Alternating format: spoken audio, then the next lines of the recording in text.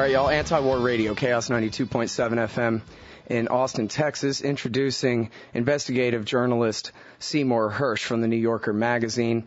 Uh, he's the author of the book Chain of Command and has been working on the story of America's upcoming war with Iran for a few years now. A couple of important articles of note: The Coming Wars and Next Act. The new one is called Preparing the Battle Space. Welcome to the show, sir. Hello.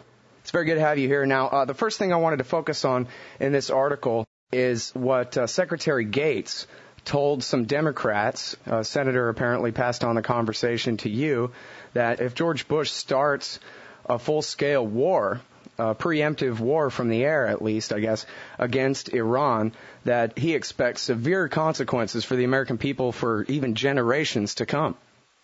Yes, he went to a lunch with actually the Democratic caucus, and it was on background.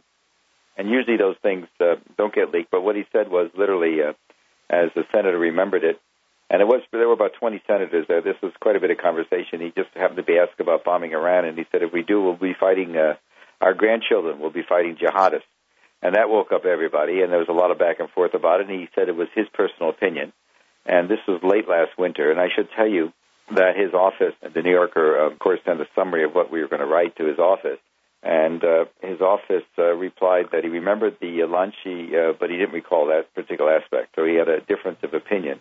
But the bottom line, I don't know what else he could say, perhaps, but uh, the bottom line is that he's not alone. There are many military men who think it would just, just like many people in society at large think it would be silly and foolish and reckless to get into a, a kinetic war with uh, Iran without talking to them. I, could, I should also add, there's also a lot of people in the military that say, "Bring it on." You know, mm-hmm. it goes both ways.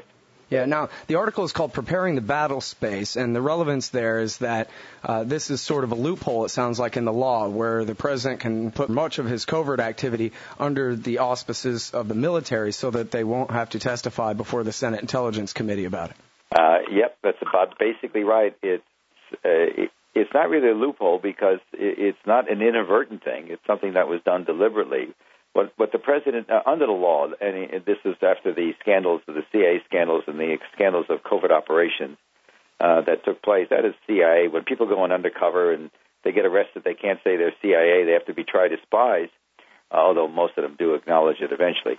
But still, theoretically, um, all covert operations have to be uh, briefed to the uh, Senate and House Intelligence Committee, and also various uh, senior members of Congress have to be notified. The House Speaker, the Senate uh, Majority Leader, et cetera, et cetera, both sides, both Democrat and Republican, the leadership has to know. The loophole, if you will, is simply that this president, after 9 11, determined that anything the military did, whether covert or clandestine, everything, anything they did was not covert. It was always, it just wasn't covert. Uh, even if it was most secret operations with Americans operating without uniform, it's not covert and it wasn't covered by the statute. And everything that's going on, the military does as part of preparing the battlefield, which is the president's prerogative under the Constitution as commander in chief. So Congress is never briefed on those operations. So the situation that I write about, it's a complicated story, and on one hand, it seems like a simple story. You know, you, just the fact that there was a secret finding, and president had a under the law, he has to tell Congress in a finding. That's the technical word they use for the uh, document informing them of, of the covert operation Congress funds last winter. It's hard to believe it. The Democratic Congress authorized, or at least funded, 400 put 400 million dollars aside. In um, oh, who knows where the money comes from? The budget it's hidden. There's a lot of money floating around in our government anyway, in our budgets, particularly for special ops and clandestine operations. And so the you know Congress votes a lot of money, and and when you know the dust settles, they're not sure what they voted for because the son of a gun. Uh, they voted 400 million in covert stuff, and then they discover there's a lot of military stuff going on, apparently using being financed by the money they sent, and about which they're told nothing. Uh-huh. Well, it sounds like what they're doing with at least some of this money is backing Al Qaeda tied groups like Jundullah in Pakistan. Yeah, well, but Jundullah is um, in in uh, Iran. It's, it's the Jundullah group in Iran. It's it's a Sunni group. We're backing we're backing Kurds, some Sunni Kurds. We're backing some Sunni Baluchis, and don't forget Khalid Sheikh Mohammed the, the famous alleged mastermind of 9/11, and Ramzi Youssef, who blew up the was prosecuted for blowing up the World Trade Center in 1993, were both Baluchi uh, Sunnis. Um, we're funding them. We're funding uh, some uh, Arab groups, the Ahwazi Arabs, who are a minority inside Iran, the Shia, but they were a minority in terms of being Arabs as opposed to not Persian.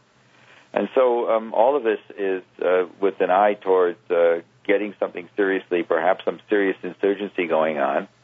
And meanwhile, we have our special forces, the JSOC, our special operation guys going around and looking for high value targets. In this case, it's probably, so I wrote nuclear scientists and other things like that. Uh, it's all designed um, uh, for escalation. Mm-hmm. And um, uh, it's, it's uh, and the, and to create a casus belli, to create an incident that the Iranians would have to respond to, that the Americans uh, then can use as a vehicle for going in. I see. And I'd like to ask you one more real quick question. Uh, you wrote before about how the option of using nuclear weapons in a first strike against Iran was on the table before, and then you wrote that it had been taken off, and there have been a few reports back and forth about that. Per your current understanding, does the use of nuclear weapons, uh, is that still involved in the plan for air war against Iran? No, absolutely categorically not, as far as I know. Okay, great. Thank you very much for your time today. No problem, Scott. Bye-bye. Everybody, that's Seymour Hersh from the New Yorker magazine. The new article is called Preparing the Battle Space. It's our top headline today at antiwar.com.